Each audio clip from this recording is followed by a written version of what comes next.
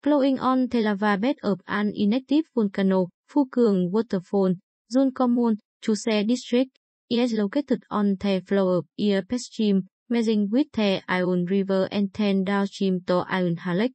This is one of the destinations not to be missed by tourists when coming to Zalai Lai because of its wide and magnificent natural beauty.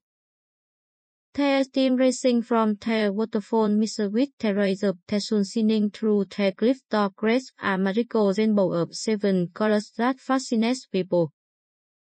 To get down to the foot of the waterfall, visitor will go through a system of long stairs built of very solid iron. From here, hundreds of large and small black and gray rocks with many shapes stacked on top of it leads travelers to the waterfall.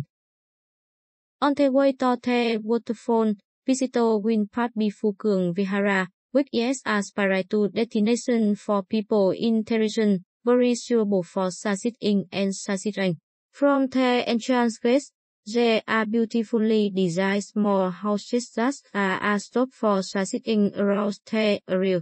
This place is being planned as a souvenir shop, local products and elevate the of visitors.